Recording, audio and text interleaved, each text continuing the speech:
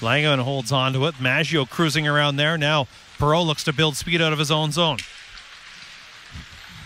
Jacob Perreault wide here on Ladd. Looking to go back upstairs. He scores. Jacob Perreault buried it on the backhand. That's a power play goal, and it's 3 1. And making 11 power play goals, a league leading 11 power play goals for Jacob Perreault